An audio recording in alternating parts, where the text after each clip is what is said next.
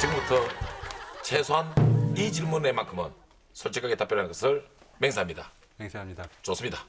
사랑합니다. 그렇지만 사람인지라 왜 이거 하나만큼은 반쯤이 안 보이겠습니까? 남편 이거 하나만큼은 고치자. 이거는 조금 조금 좀, 좀 불편하다. 예, 남편 이거 하나만큼은 남편은 예. 보셔서도 알겠듯이 단점이 없어요, 사실. 어딜 봐서 한다는 거예요? 봐서는 도저히 모르겠어요. 제가 보기에는 너무 좋은 사람이고 저한테는 부족함이 없는 사람이에요. 네.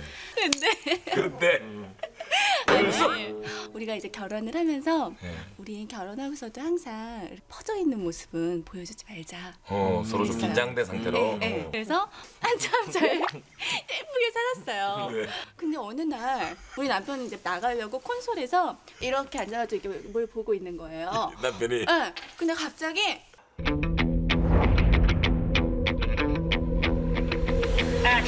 뿡 하고 소리가 나. 근데 제가 잡았다 드디어 너무 웃기잖아요. 저 그래가지고 막 달려갔는데 근데 우리 남편이 하고 있는 게 방울 전혀 안, 끼, 안 꼈다는 듯이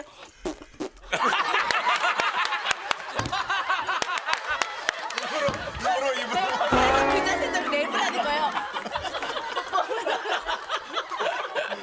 내가 내가 들었는데 막 이랬더니 너무 순식간에 실수를 해버린 거예요. 네. 근데 못 들었을 거라는 생각을 딱 순간 하고 비트박스 연습하는 것처럼.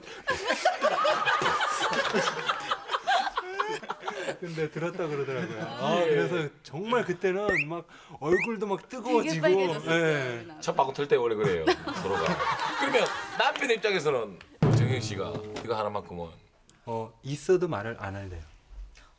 아 있는데 아, 있어도 우리가 바라보고자 하는 대로 보이는 것 같아요. 제 아내를 제가 단점을 이제 바라보기 시작하면은 끝도 없이 그쪽을 바라보고 그거에 대해서 얘기하면은 또 반대로 싫은 얘기했기 때문에 또 반대가 되고 이런 거 가르쳐 주는 학원이 있습니까?